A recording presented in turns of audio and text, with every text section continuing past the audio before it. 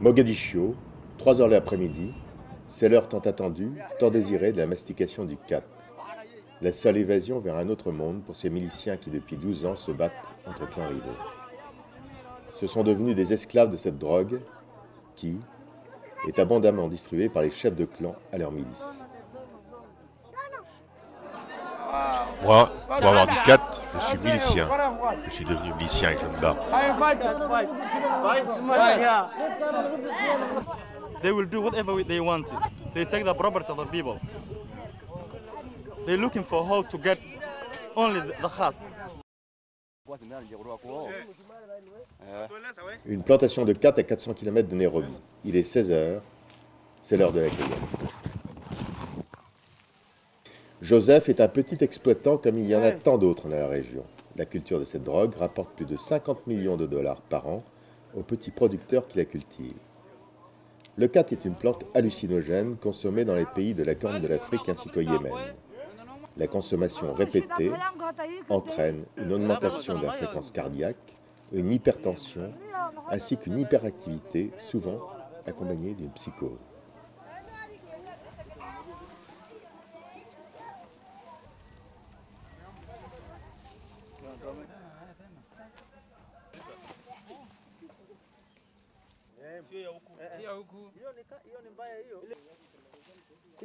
Y a-t-il beaucoup de marchés de cat autour de votre propriété? We have Mutuate, Kaelo, we have Lare, and the other places of Mawa, those interior, Zero, and whatever. One day alone, here in Kaelo, is we sell almost 10,000. 10,000 Yes, kilos. 10,000 kilos a day. A day? Yes, in this market alone. The buyers and the, the, the exporters, those are mostly from, from uh, Somali origin, and all, all others who are concerned in the market. Yes.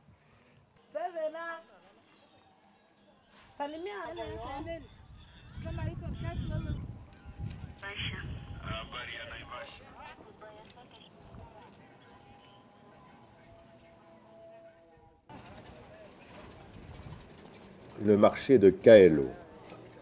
Tous les petits producteurs arrivent avec leurs récoltes. Ici, on ne fait que livrer les importateurs qui se font discrets. Les Somaliens n'interviennent que dans l'enlèvement des marchandises qui partiront vers leurs ateliers de Nairobi pour y être ensuite empaquetés et préparés pour le transport aérien. La distribution du cat est difficile car la nature même de cette drogue nécessite des moyens d'exportation rapides. En effet, la sève du cat perd ses propriétés hallucinogènes 24 heures après la cueillette. Le sentiment des fermiers kényans envers les Somaliens, qui pourtant leur achètent le cat, est très mitigé. Car ils savent bien qu'une botte qui est achetée ici un quart de dollar est revendue par exemple 5 dollars à Mogadiscio. Mais ils ne peuvent se passer de ces intermédiaires qui ont une puissance financière très importante. Ces sociétés d'import-export, si elles n'ont pas comme unique actionnaire les chefs de guerre somaliens, leurs capitaux sont tout de même aux mains des principaux clans qui leur ouvrent tous les accès aux aéroports de Somalie, quelle que soit leur appartenance, Somalie, qui reste le plus grand acheteur de la région. We make a lot of money, but there is a problem. There's a problem with, with uh, the cons- buyers. They have monopolized the, the trade. There is a monopoly in this trade. The Somalis have overshadowed the Merus. Yeah, they, they have controlled the price. I mean, the, the trade. I will say, I will tell you how they have controlled. There are four, uh, four items in this trade. Number one, there is the goods. Then number two, there is the transportation. And number three, there is the market. Number four, there is the, the money to buy the produce. So what they have done, we are producing them raw, yes. There are millions and millions of money coming daily. I was once employed by a Somali called Hassan Mohammed for four months to be a manager in his business. And uh, every day I was bringing 800,000 to the farmers. Every day. Every day. Yeah. Only single single businessman. yeah, single business, only one. Yeah, yeah. Eh, and there are so many others. So They- totally, how many businessmen are uh, dealing with cat? The, Mira, the, the Somalis, Yes. they are about uh, they are about a 100.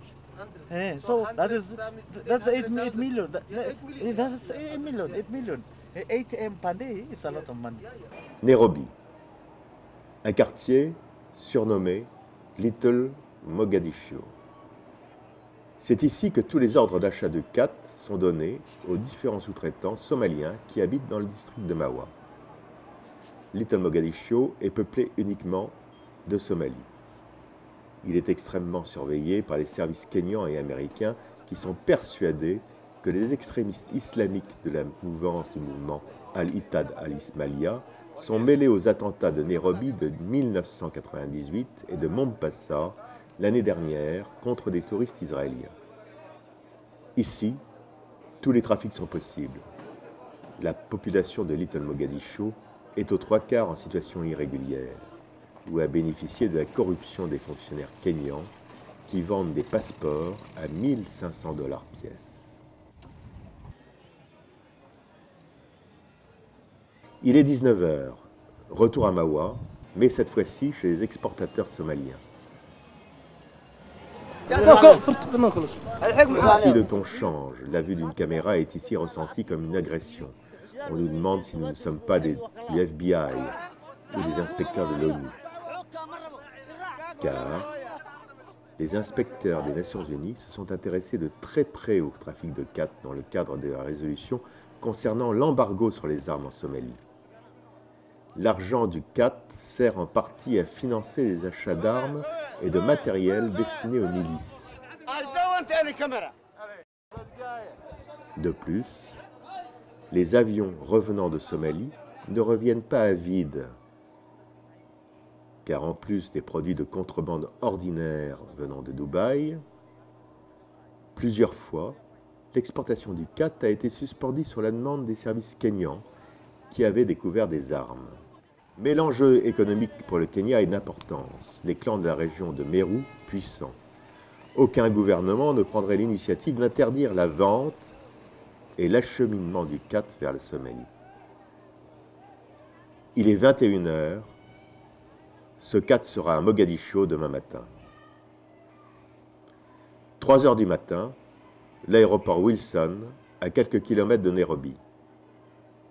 Les colis sont pesés et transportés dans de petits bimoteurs capables d'atterrir sur des terrains de fortune.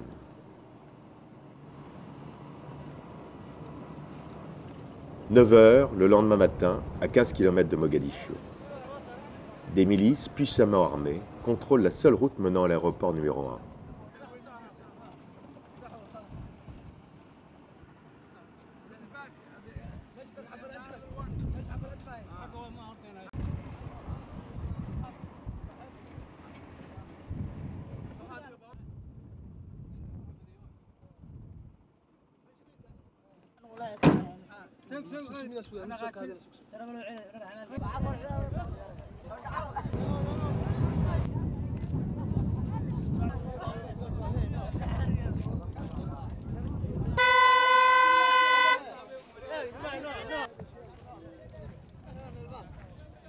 Vous attendez un chargement de 4 de combien de kilos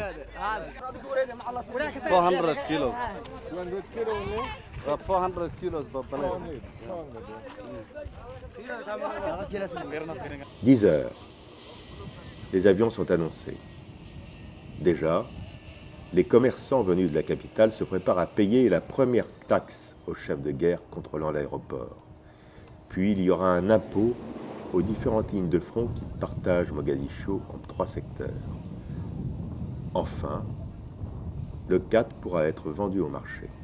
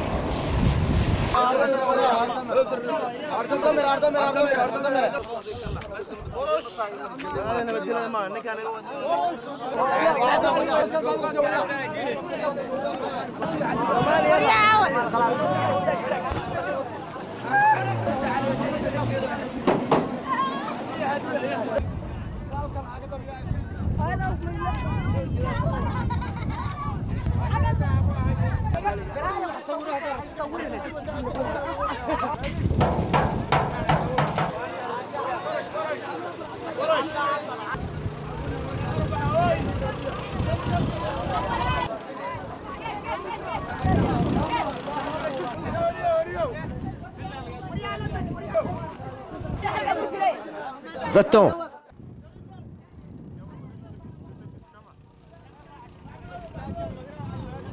Arrêtez de filmer, s'il vous plaît. Ça suffit. Arrêtez de filmer tout de suite. Je ne veux pas que vous filmiez les avions. Et fous le camp, fous le camp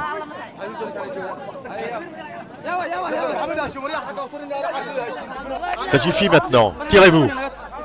Le salaud, il faut qu'il parte tout de suite. Tout de suite. Fous le camp, fous le camp Fous le camp, on te, on te tue, on te tue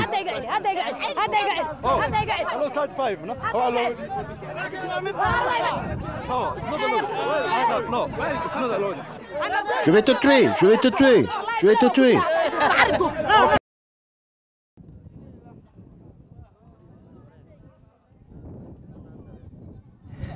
These people, the children, the boy, the gun, for the car. 10h30, Mogadiscio au Nord, il y a eu des accrochages entre miliciens pour le contrôle d'une cargaison de 4, bilan de morts.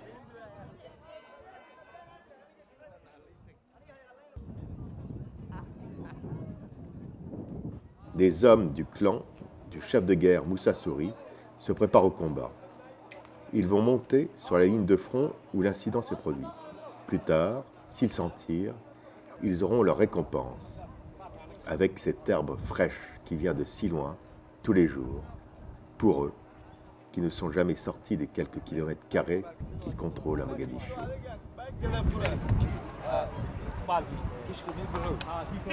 Les milices sont fractionnées. Si elles relèvent toujours d'un seul chef de clan, par contre, elles sont dirigées par des petits commandants locaux qui administrent le territoire qui leur est alloué, comme bon leur semble. Ainsi, la patronne du Global Hotel s'est retrouvée à la tête d'une petite armée qu'elle gère au mieux de ses intérêts, et parfois fait la guerre à ses voisins d'un même clan, pour des différents pécuniers quelconques. Mais elle fera attention à ne pas se mettre le chef de clan à dos, ce qui signifierait pour elle la mort à brève échéance.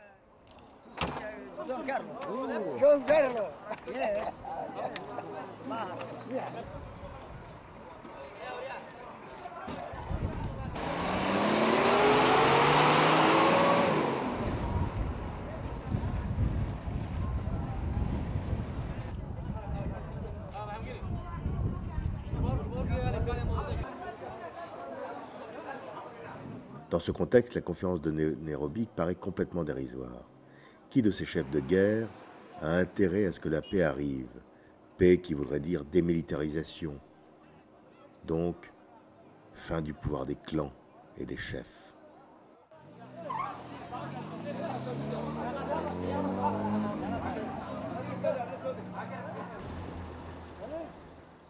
Moussa Souri dit Yalo, l'homme qui tient tout le nord de Mogadiscio, est d'ailleurs hostile à toute négociation hors des frontières de la Somalie.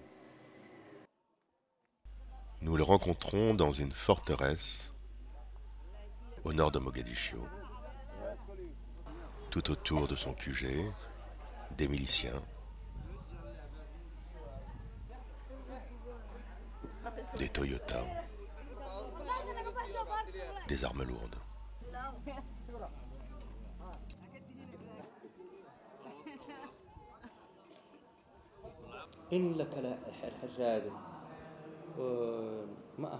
Nous voulons que les Somaliens se réunissent, qu'il n'y ait, plus de lignes de front.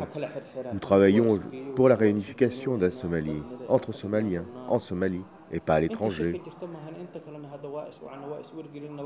C'est à Nairobi qu'on parle d'insécurité, mais la situation est bien meilleure qu'avant.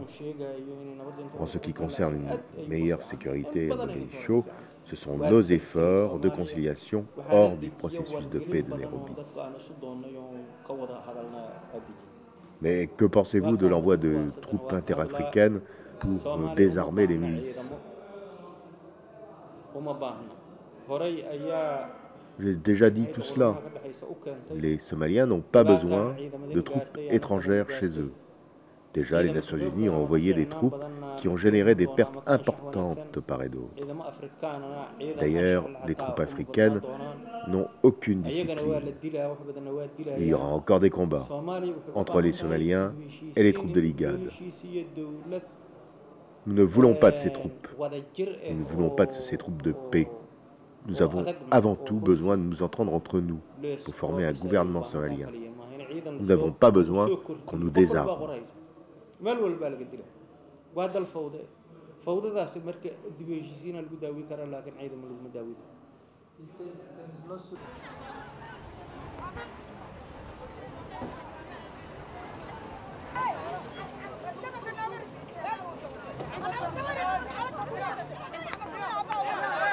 « 11h du matin. Le cat est en vente dans tous les marchés de Mogadiscio. Ici, au nord de la ville, les marchands sont à nouveau taxés. L'argent servira entre autres à l'achat de matériel de guerre plus perfectionné et à la survie du chef de clan.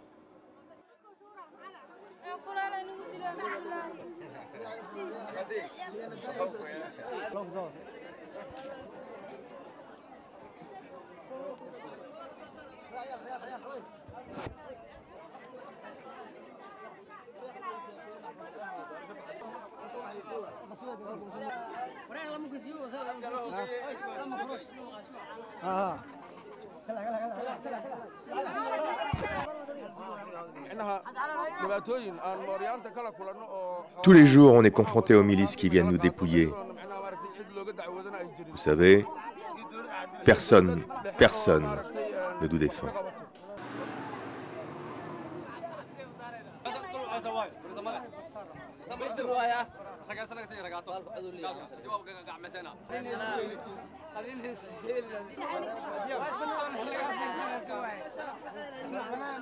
Les profits sont énormes le prix de la botte de cat a augmenté de 200%. Dollars. dollars? Dollars.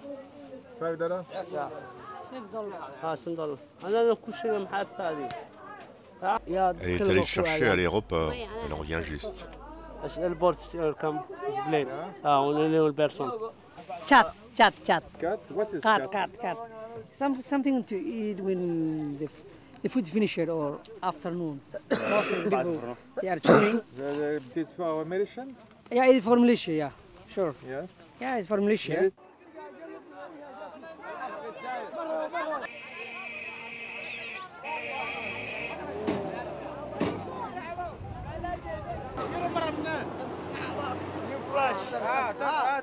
«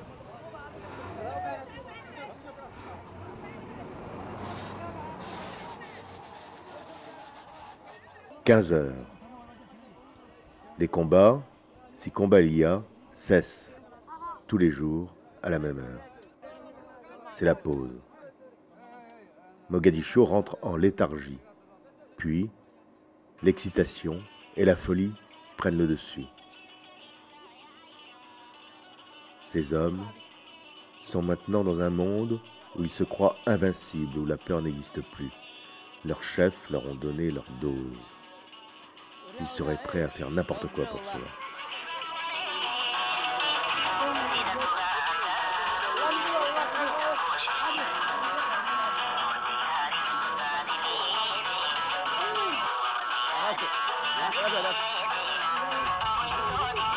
They're looking for how to get only the khat. At the morning, if they wake up, they look for how to get a khat. They haven't any meaning or any, they don't want anything. If they get a khat, they are happy. They will stay and they will eat. But if they didn't get, they will kill what they, they will take the property of the people. Even they, uh, they kill it.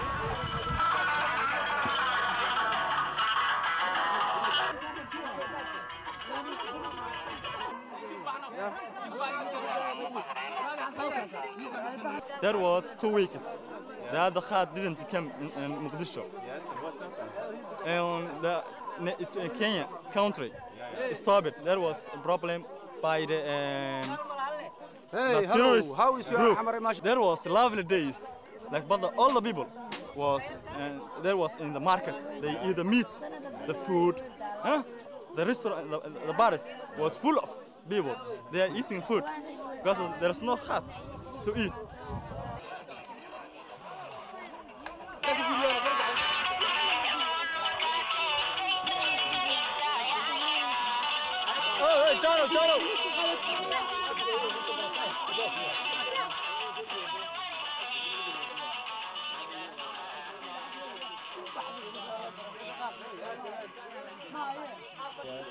Khartoum these days it's not good.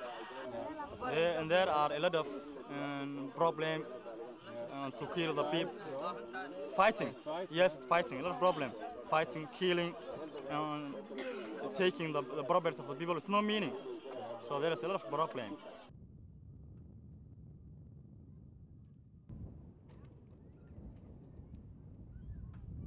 17 heures. À Shingani, depuis plusieurs jours, la tension s'est accrue. Les milices interdisent l'accès de ce quartier qui était peuplé d'anciens commerçants. C'est le moment ou jamais d'essayer de passer entre les lignes de front, car les milices sont encore sous l'effet du 4.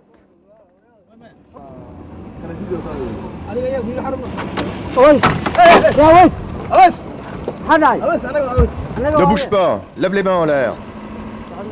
C'est moi, tu me reconnais?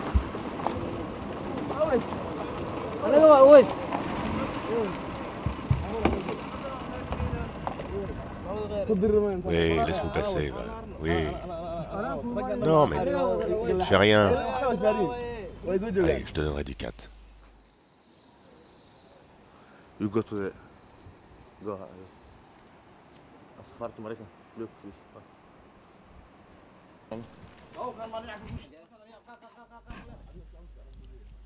Non, on se balade un peu. Et de toute façon, je le contrôle. Oui, oui. C'est moi qui l'amène ici. Tu peux avoir confiance en moi. Ici, il ne reste plus grand monde. Et pourtant, le pillage continue. Les enlèvements contre rançon sont quotidiens. Les enfants qui sont dans ce quartier ne savent pas ce qu'était la vie avant. Ce sont des enfants qui ont grandi avec la guerre. Ils ne peuvent pas comprendre que dans ce quartier, il y a des années, nous pouvions nous respecter, vivre normalement, nous aimer. Ce que nous faisions, c'est nous entraider entre voisins, avoir une vraie vie sociale. Avec l'arrivée de ces milices armées, nous ne pouvons plus rien faire. Mais maintenant, si on kidnappe mon fils, je ne peux rien faire. Nous ne pouvons pas travailler. Mais nous ne voulons pas prendre des armes. Nous sommes des otages utilisés comme des esclaves par les miliciens, par les trois clans qui terrorisent Mogadiscio.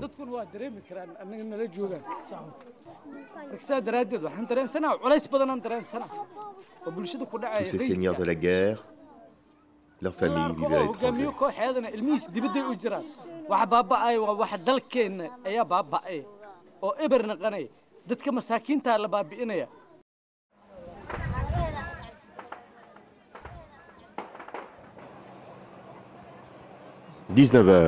Retour au Global Hotel, certains miliciens rentrent des lignes de front. Yo, this the big off raining, two angry stinking.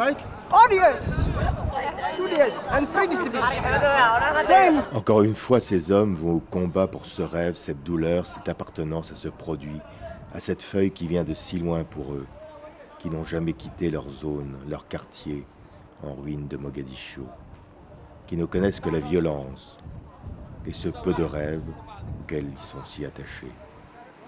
Et pourtant, à quelques centaines de kilomètres de là, à Nairobi, l'on parle de paix. Depuis 12 mois, les chefs de clan s'arrangent et se dérangent, créent des alliances. La Somalie n'est pas leur souci.